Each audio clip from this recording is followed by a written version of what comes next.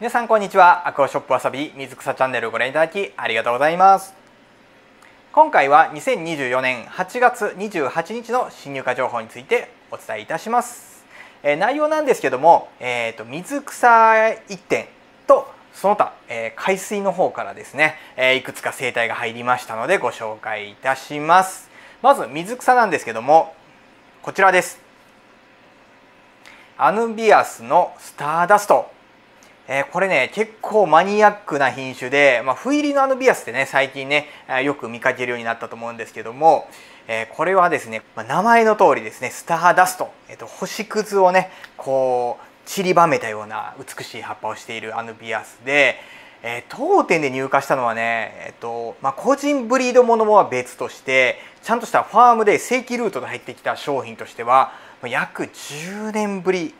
ぐらいかなと思います。もう待望の水草ですね。もうここ最近で一番のビッグニュースなんですけども、えー、ついにやってきました。でねやっぱりねこのスターダストね何がいいかというとあまりにもこうマーブル感がね強いとどちらかというとレイアウト寄りというよりも、まあ、コレクション、まあ、その水草自体をまあ鑑賞するみたいなね、えー、感じになることが多いんですけどもスターダストについては程よいこの負の入り方、えー、この白い模様が上品に入るというところもあって、まあ、もちろん単体で、えー、楽しむこともできますしレイアウトに使った時にバランスが崩れないんですね。まあ、レイアウトの中でねデザイン的にしっかりね溶け込んでくれる使いやすさがあるんですけども、まあ、単体で見るとすごい美しいと、まあ、ブセファーランドラーみたいなね、えー、楽しみ方になると思うんですけども、まあ、非常にレアでかつ美しい。そしてべらぼうに高くない。ていうこともあって、まあ、非常にねおすすめのアヌビアスです。でサイズもアヌビアスのプチぐらいのサイズなのでそこまでこう大型化しない。ということもあって大型水槽から小型水槽まで全部幅広く使用できると、えー、これね本当に使いやすい。で育成もしやすいですし見た目も綺麗ともう3拍子揃ってるアヌビアスですね、えー、こちらね今回たまたまねあのある程度の数が入ったんですけども、まあ、ちょっと先行で、えー、当店の公式 X の方ですね、えー、の方でツイートで、えー、ご紹介したということもあって、まあ、ちょっとね若干数は減っちゃったんですけどもまだあと残り少々ありますので気になった方は是非お問い合わせください、まあ、もちろんご来店いただければね好きな答え選んでいただけるかと思うんですけども、まあ、ご遠方の方でしたら通販対応可能なので、えー、こちらのね、えー、メールアドレスまで、え、ご連絡ください。ご質問とかお問い合わせ等も含めて、えこちらのアドレスの方にねいただければ、えお答えいたします。まあ、次回の入荷がねもうちょっといつになるかわからないっていうこともありますのでまたこれでね何年間あげちゃうとかなったらもう最悪なんでね、まあ、ぜひこの機会にまず気になる方はゲットしてください、まあ、すぐに入るという可能性もねゼロではないんですけど、まあ、前回で言うとファームでねいつも載ってたリストからあれなんか消えたなみたいになって、まあ、どうなってんのかなと思ってたらもうまあそれがね数ヶ月あ見ないな。そしてえ年単位で見ないな。何年も見ないな。そして10年ぐらい経ったと、えー、今回そんな感じで非常にね、えー、ビッグニュースだと思います。で次に、えー、こちら、えー、海水の生態ですね。えー、まあ、当店ね水草チャンネル言ってるんですけども 最近ですね、えー、今年から、えー、海水水槽の方もね手がけまして、えこちらね、え販売水槽ですね。横幅1 2 0センチの水槽なんですけどもこちらにね、えライブロックと、えサンゴソフトコーラルを、え販売しております。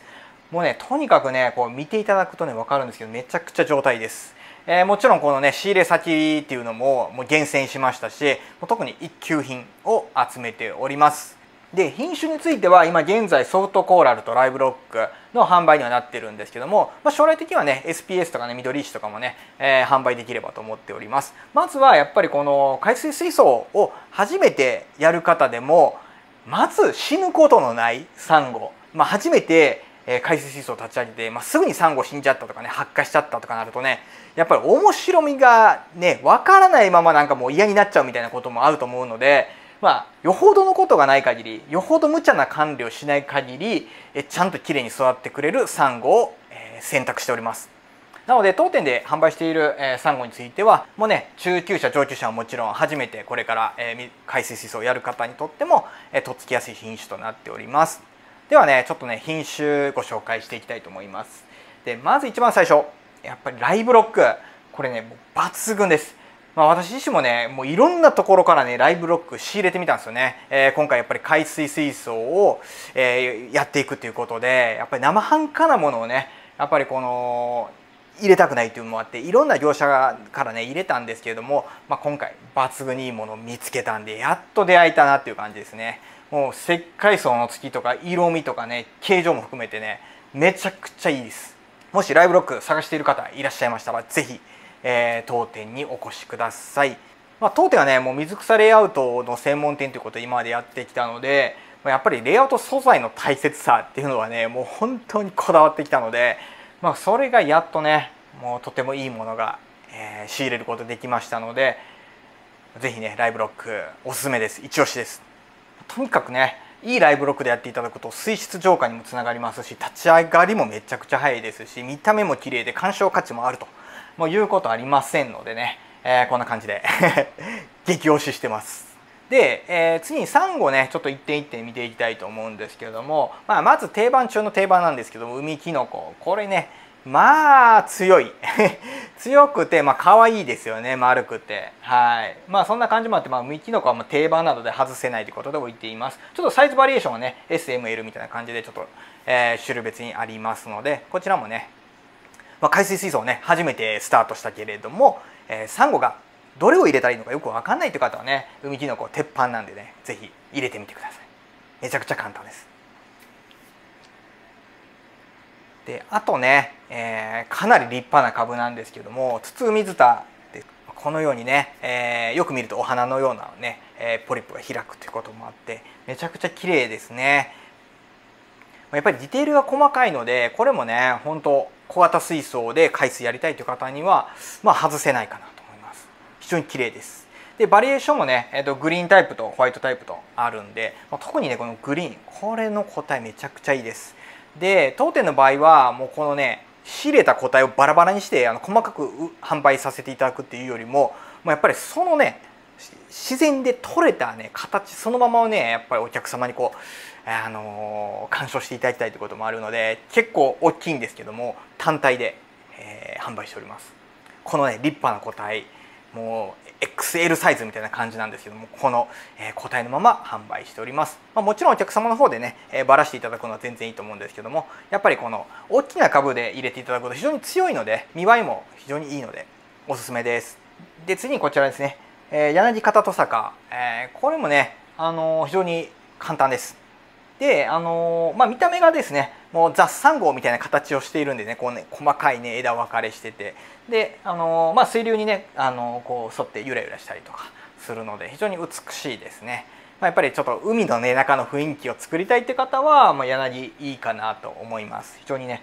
まあ、これもねめっちゃ強いんでまあまあそうそうしないですね。で株のサイズもねめちゃくちゃでかいです。もう XL サイズみたいなね超特大サイズなのでまあ個体自体も強いですしもう見栄えドーンですね。センタープランツみたいなものですね。三草水槽でいうとね。もう主役を張れるぐらいの派手さがあります、まあ、こちらもね、えー、ちょっとグリーンがかかってるやつとちょっと、えホワイト系のやつと、まあ、バリエーションもあります。であとこちらですね。これちょっとね株はそんなに大きくないんですけども白筋海アザミ、まあ、海アザミもねこうやっぱソフトコーラの代表的な品種でどちらかというとこのねゆらゆら感がね、えー、可愛いです。こちらですね。結構ね小ぶりなのであの、まあ、小型水槽で、えー、スタートされる方には最適サイズかと思います。非常にね状態もよく大きく育ってくれると思います。やっぱこのゆらゆら系はね綺麗ですよね、まあ、特に海水水槽の場合、まあ、水流がね、えー、非常に大切なんでその水流に沿ってゆらゆら揺れる姿見てるとね本当に癒されますね。次に毛アリですね。まあ、毛アリムシと言われてるやつで、えー、この筒の中にね毛アリムシが入ってて先端がね花のように開くと。まあ、これもまた育成簡単なんで、まあ、よほどねこうなんかめちゃくちゃ環境悪ければねボトッとねこの先端がち入れて落ちるみたいなねことはあるんですけども、まあ、当店で過去にねそれになったことないのでまあまあこれも普通に管理していただければ簡単に飼育できると思います。まあ、やっぱり綺麗ですよねあの華やかですし、うん、で育成も簡単と、まあ、毛刈りについても、え、初心者向きかと思います。まあ、こちらもバリエーション違いでちっちゃいやつとちょっと大きめのやつと2種類在庫をしております。であと海水の生態なんですけれども、マガキ貝と、シッタカ貝これはですねもう完全にマストえー、もう水草水槽でいう大和沼エビみたいなもんでやっぱり苔掃除のプロフェッショナルということで、まあ、必ず、タンクメイトとして入れておくということもあって、在庫しております。まあ、やっぱりね、まあ、何かの拍子にねこうあの死んじゃったりということはたまにね落ちることあるんでもしね個体が減っている場合はやっぱその都度補充していただいた方が苔対策になると思います。やっぱねこのねサンゴ砂この、ね、下のねやっぱ白い砂がねもう茶色くなってくるんで、まあ、当店もね前回、えー、先日ねこんな状態だったんですけどね、えー、マガキと、えー、下か入れる前はこんな感じでもうドロドロのねちょっと、えー、サンゴ砂だったんですけども入れた途端ねもう翌日にはもう真っ白のね、えー、本当に美しい、えー、サンゴ砂にしてくれましたのでもう馬力はね半端じゃないですね、まあ、見た目も結構可愛いんでねえーと形もね本当になんか あの可愛らしい形してるんで、えー、まあ、これは、えー、マストですね。まあ、立ち上げ後結構ね早めの段階で入れられるので、まあ、お魚とサンゴ入れる前の段階で、まあ、貝と、えー、マガキ貝とシッタカセットで入れていただくといいと思います。まあ、シッタカはねガラス面掃除したりしてくれますし、えー、マガキ貝はねあの下の砂を、えー、きれいに掃除してくれると、まあ、海水水槽にとってはもう外すことができない、えー、苔取り生態となっております。で最後にね今これ泳いでるねこれ、えー、コバルト、えーと、ルリスズメですねルリスズメ、えー、こちらもね販売できるんですけどちょっとねこれ 多分救うのほぼ無理なんでもし購入されたいという方がいらっしゃいましたら、えー、ちょっと余裕を持って数日前とかに言っていただければ、えー、もう隔離ケースに入れてあの分けておきますので、えー、生体も販売できます。今現状でしたら、えーと、生態の取り寄せとかね、まあ、サンゴの取り寄せもそうなんですけども、えー、事前オーダーで、えーと、お好きな品種全部ね、えー、当店で入れることできますのでその辺りもご要望ございましたらおっしゃってください。まあ、今回ねちょっとね海水の、え、内容多かったんですけども今ね結構ねもう海水熱いですね。もう SNS とかねインスタとか見ててもね皆さんね目にされたことあると思うんですけどめっちゃスタイリッシュなんですよね。もう正直海水水槽って昔は、まあ、インテリア感っていうよりも、まあ、好きな人が本当にこの生き物を、まあ、飼育するみたいなねザ飼育水槽みたいな感じだったんですけどもこちらもね最近やっぱりねちょっとおしゃれなインテリアで、えー、海水水槽を始める方非常に多くなっておりまして、まあ、実際当店でも今、まあ、この水槽もね生態販売水槽も入れたら4大海水水槽を展示してるんですがめちゃくちゃねリアクション大きいですね。まあ、もちろん水草水草でいいですし海水は海水でまたね違う世界があるんですけども、まあ、当店の場合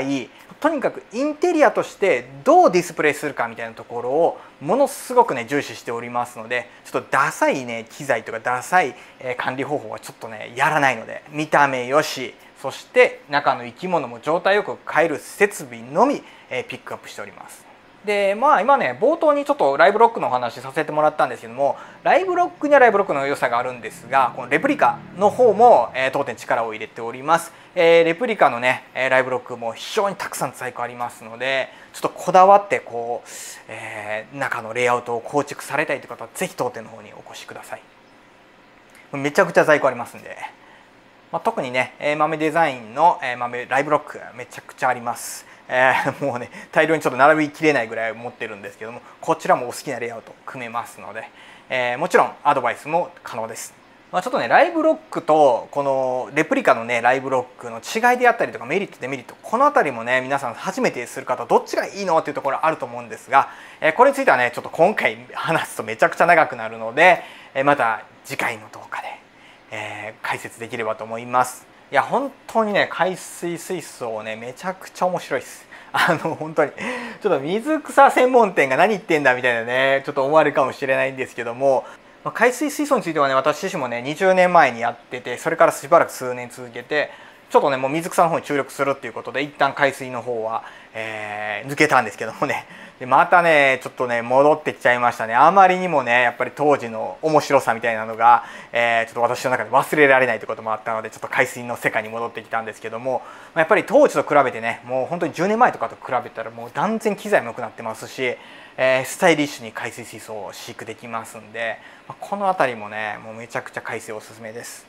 もう専門店としてのね知識ノウハウめちゃくちゃ持ってますんでもうどちらも対応できます。もう水草やりたい方海水やりたい方どっちも対応できます、まあ、これからねなんとなくアクアリウム始められたいという方で、えー、どっちにしようかなみたいな方もまず当店に来てください来ていただければ実際に、えー、両方の水槽を見ていただいて水草と海水見ていただいて、えーと、どういう特徴があるのかどういった違いがあるのかっていうのもね詳しくご説明できますので、えー、ご自身に合ったアクアリウムを選ぶことができると思います。このような感じでね、えー、今回新入荷情報ということでちょっと海水と、えー、水草1種類、えー、ご紹介いたしましたが今後もこちらのチャンネルではですね、え新しく入荷した商品であったりとか一押しのアイテムとかねどんどん紹介していきたいと思いますので継続的に見ていただければ嬉しいです。で今回お話しした内容の中でちょっと海水に関する内容、えー、過去の動画ありますのでそちらもね下の概要欄に貼っておきましたのでよろしければご興味あれば見てみてください。えー、あとアヌビアス関連ですね、えー、アヌビアスの正しい巻き方とかね、えー、アヌビアスをどうアレンジするかみたいなちょっとアヌビアス関連の動画もピックアップしておきましたので下の概要欄よろしければ、えご確認ください。もし今回の内容良かったっていう方がいらっしゃいましたらわさび水草チャンネル登録いただければ大変嬉しいです。今後もこちらのチャンネルでは水草水槽から海水水槽そしてパルダリウムまで、えー、幅広くアクアリウムのことについてノウハウ技術などをどんどん公開していきたいと思いますので乞うご期待ください。またいいねマークでの高評価もいただければ大変嬉しいです。では今回はこれで終わります。ありがとうございました。